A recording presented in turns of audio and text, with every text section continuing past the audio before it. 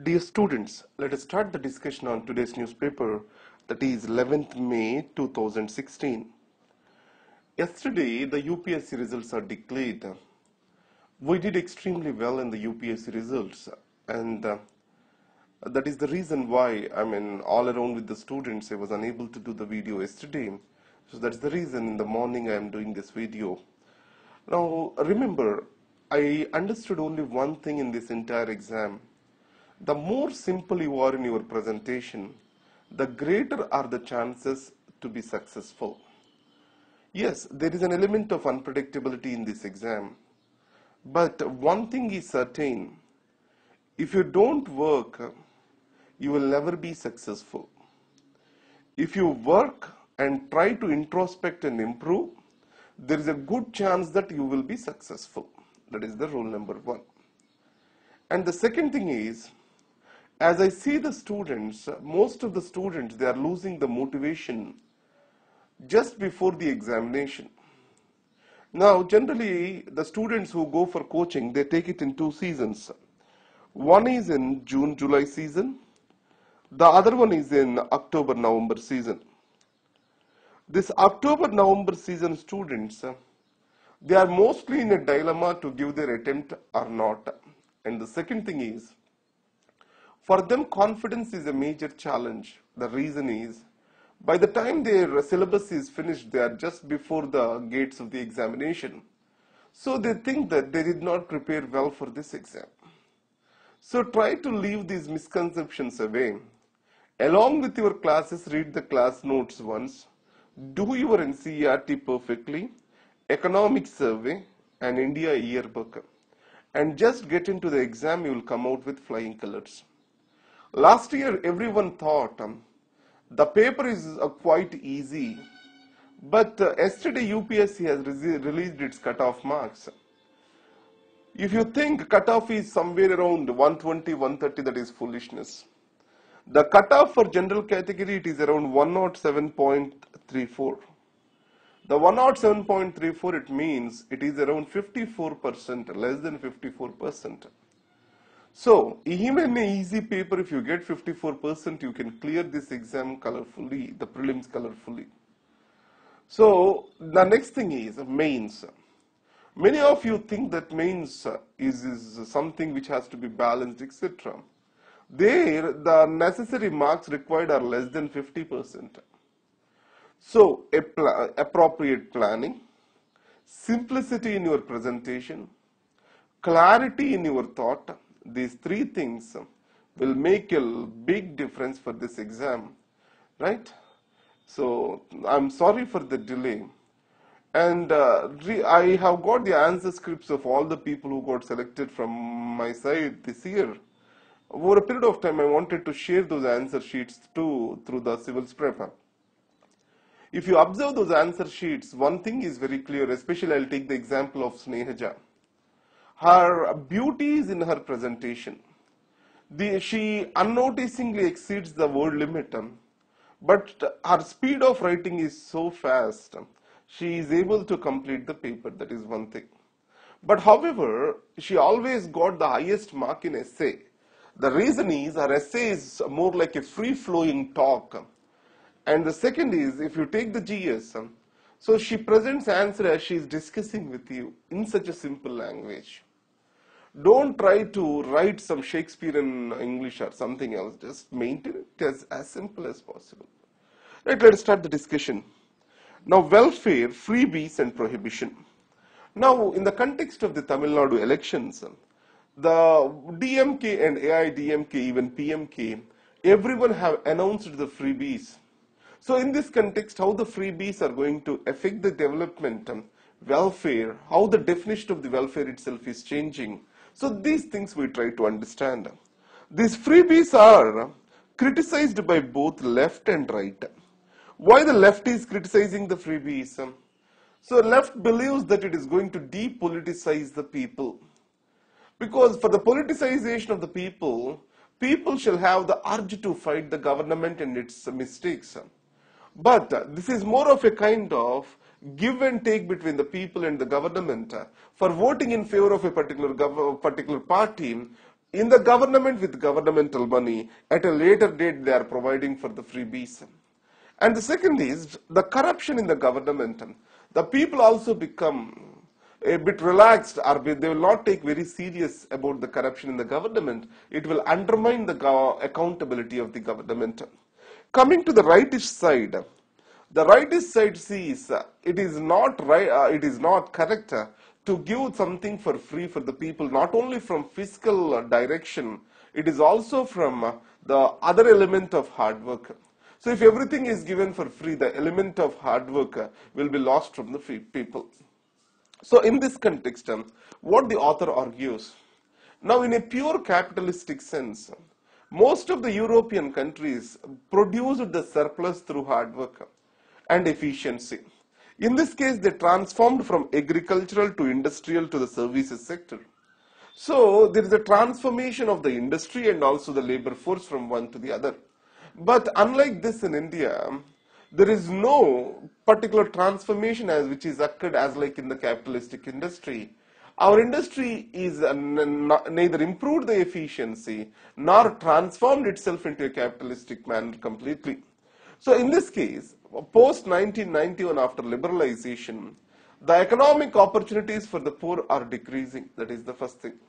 And the second is the governmental stim policy discretion is also slowing down due to market forces. So to influence the people and their uh, behavior, so government is more and more resorting to the freebies. It also has electoral fervor. And added to that, the wealth is getting accumulated in few hands due to jobless growth. Many of the people are left out of from this particular wealth. So they are unable to be the participants of the growth process. So in this case, they, they are also failing to claim the benefits of the growth process. So that's why, so few people who have the opportunities, they are accumulating the wealth. So making the people in the, as the participants in the growth process, uh, governments are seeing them to be the participants with regard to the gains of the distribution process. So this, from this dimension also we can see the freebies. Uh, but on uh, freebies generally for the UPSC examination, you shall see it in a negative dimension itself. Now coming to the playing nanny. Our Indian constitution is based on the separation of powers. So what is this separation of powers here? So you have executive, legislature and judiciary performing three different functions. Now, if you take the Uttarakhand issue, the judiciary hand-holding of the legislative process, which has to be concluded within the authority of the speaker in the house is like infringement of the judiciary into the legislature's function. Because of this, legislature in the long term will lose its credibility. And on the other hand, it itself is the failure of the legislature to solve the problem by itself. So one way the judiciary's role is expected uh, to solve the constitutional crisis. But on the other way, the judiciary coming into the legislature sphere will expose the legislature failures um, and the representatives, the confidence of the people in the representatives is going to come down, which is not good for the democracy. And the second is, with carrots as sticks, it is related to the media. Now, if you take media in India, there are uh, their major revenue sources from the governmental advertisement. Now, the government started using this advertisement as a tool to influence the media reporting. The Supreme Court in the Common Cause versus Union of India case clearly objected to this. And the second is, the number of newspapers, news channels have increased in India, but the diversity of reporting and challenging of the ideas did not move forward. It means newspapers are increasing, but all of them are talking about the same thing. So it means whenever the news, I mean, uh, newspapers are increasing, the multiplicity of the ideas have to be put forward. They shall need to a debate in the government, influence the policy. All this role we describe it as a policy advocacy role of media. So the media is, uh, the reporting is shrinking, but media as an economic space is increasing, which is not a good sign. Coming to the miscounting of the poor. Recently, Rangarajan's article, if you take, um, As of now, we are taking only the private consumption of the people to define the poor. But if you carefully observe, uh, they say, so let us also include the public expenditure made on the poor. So public expenditure plus private consumption, these together will make the difference. That's what it has been said. So miscounting the poor, it may, uh, uh, this tries to question that particular Rangarajan's article, saying that um, we are always counting the difference where the government is unable to feed the essential goods that is being fed by themselves, by the poor people. That's why it will not add any value. That's what is the author is arguing about. Now coming to the uh, Geospatial Information Bill 2016, the draft which was introduced by um, the Ministry of Home Affairs. According to this, um, any depiction, dissemination, or anything related to the geospatial information, uh, authority will be appointed and there has to be a permission from this authority. If it is wrongly depicted, a penalty of 100 um, crore can be imposed on that uh, uh, individual or entity if it wrongly depicts the Indian boundaries. Now, if you take the Israel example, where the sensitive establishments will not be shown in the Google Maps. The same is the case with United States of America. But in India, these multinational companies are also showing the sensitive establishments such as uh, BARC, etc. So in this case, the government want to regulate this uh, map in uh, agencies uh, or private agencies in the, in the interests of the national security. But however, it shall not lead to a overkill. How? If you carefully observe with regard to this, and uh, if a separate institution is established and if it has to give the permissions, the data is so large and the geospatial information is so complex the handling of this situation needs huge manpower and also the critical knowledge. So obviously it is going to lead to delay and delay which is going to wipe out our development and innovation according to yesterday's Hindu paper. So unnecessary red tapeism is the result out of it. After the red tapeism, the next challenge is this. If we are trying to improve this, for example, the already Indian agencies such as National um, Statistical Organization and also various policies that are existing. The policies means National Geospatial Policy, National Map Policy. So with this it is not able to uh, associate with. Now the National Map Policy it has given two series of the maps. One is uh, the Defense Series and Open Series. The open series is already publicly available, but the resolution of these maps is 1 is to 1 million. So as of now, the Google and all these are using a maps of 1 is to 5000. So in this context, so we need to improve the quality of the maps provided by the governmental agencies before we take forward the regulation. And National Geospatial Policy of the Science and Technology uh, states that there has to be a open sharing of information related to the geospatial aspects. And third thing is, as like the data in the last decade or in this decade, now the geospatial is information is also becoming a new value. Added to that, the, how the spectrum was useful to us and how it has given the rich dividends to the Indian economy, the geospatial information is also expected to give the rich dividends to Indian economy. So it has an economic value too. So the government shall try to realize this economic value too. These are the various suggestions which are been given over here. Now coming to the governance and infrastructure. So with regard to infrastructure, now the one thing with regard to e-governance I wanted to talk about is this. The World Bank has given its World Development Report um, which is related to the digitization. That is uh, World Development Report 2016. Digital dividends is the article. So in this report, what the World Bank says is, India still has a huge digital gap, digital penetration gap. So if you take the China, it has around 49% of the digital penetration. India has only 18% as of now. So as globally, uh, globally if you observe it is around 40% is the average. India is much less than the global average. So if tomorrow, as I discussed to you, the digital divide will reflect as data divide and this data divide will reflect as opportunity divide will ultimately transform as developmental divide. So the socio-economic development will get hampered if we do not properly take this forward. Now coming to this article, Asian Development Bank, it is financing various projects, uh, road projects in India and the South Asia as a whole.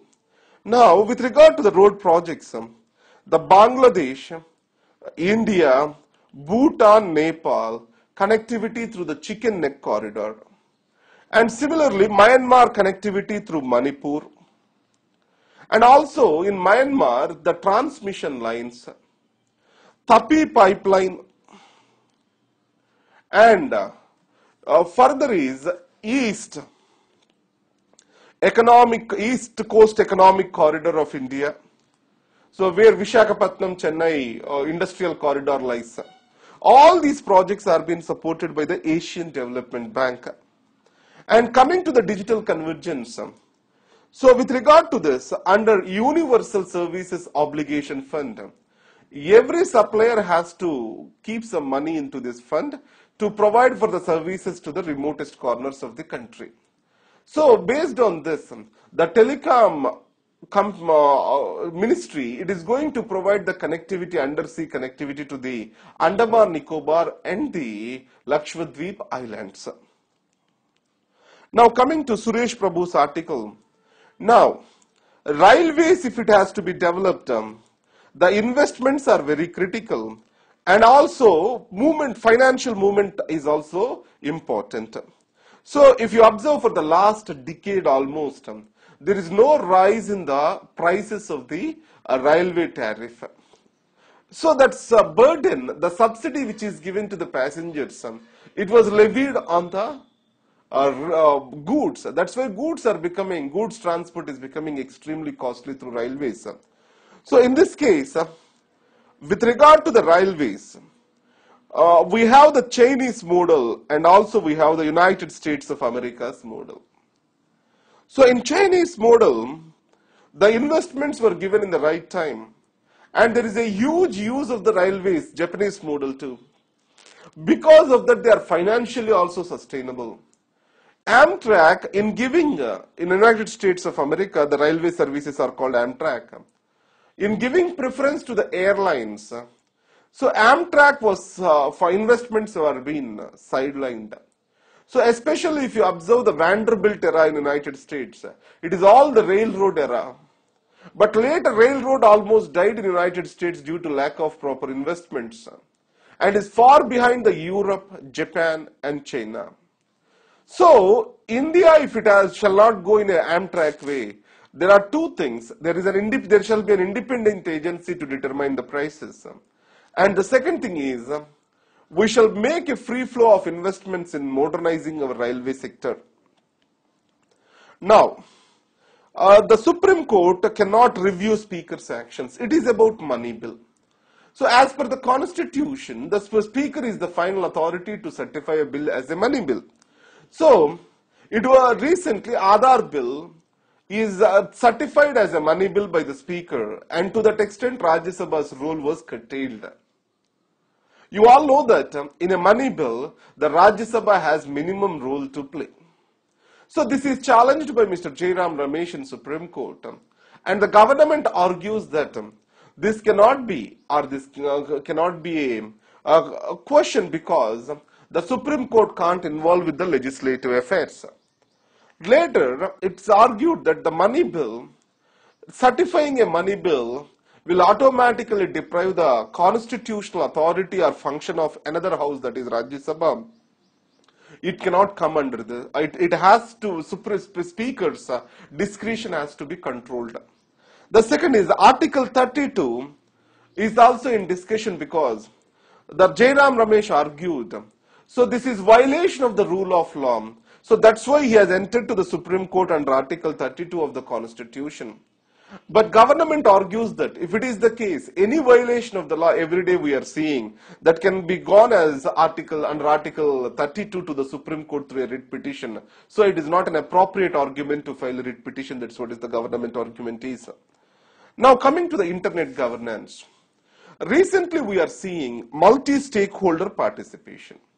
So what is this multi-stakeholder participation over here? It means that different agencies have to come together. That is, um, uh, the NGOs, that is civil society, the global multinational corporations, and government all will together make a decision with regard to the various uh, international issues. So in the internet governance, um, this particular multi-stakeholder governance is very much spoken about. Recently, the Jack Ma, he is the chief of Alibaba, he said that uh, the world shall have a common e-governance policy as like WTO directing the trade in the goods and services physically. On the online space for the trade and governance, we need to have a, a e-marketing policy. So which has to be facilitated through the involvement of the business, civil society and the governments. So it is seen as a more an attempt towards undermining the governmental role and increasing the business role in influencing the policies of the various independent sovereign nations. That is what is the essence. Now coming to the bicameral balance. Last year, a committee is also appointed on this particular matter. And it has clearly said that every state shall have a upper house. Because this upper house provides for an intrusive or understanding, an intelligent understanding, and it reduces the heat on the matters which are being discussed in the lower house. But however, if you observe the state level, the upper house is more a second house rather than, sorry, more a secondary house rather than a second house. It has neither impact on the money bill nor on the ordinary bill. So it can just discuss the matters, but it has no proper role mentioned in the constitution. So the major function uh, of this um, is to provide for a political employment to the people who are unable to win the elections through a direct route. But historically, if you observe, Annadurai and then uh, uh, C. Rajagopalachari, all these have become the chief ministers by entering the legislature through the legislative council. So it was highly criticized at that point of time, the chief minister who has to be the head of the government coming through the indirect route to the uh, chief ministerial position. But of all this, um, the committee said that um, yes, there has to be a uniform policy throughout the country to provide for the legislative councils because in Tamil Nadu, when DMK comes up, it tries to propose for that legislative council. When AIDMK comes into power, it passes a resolution for the dissolution of the Legislative Council. So the Legislative Council's existence shall not be the discretion of the government of the day. A uniform policy shall exist to maintain the respect of the House. That is what is the committee discussed about. So these are the articles for today. So uh, I'll upload the 12th paper today. Sorry for the delay. Now sorry CivilsPrep. Thank you very much.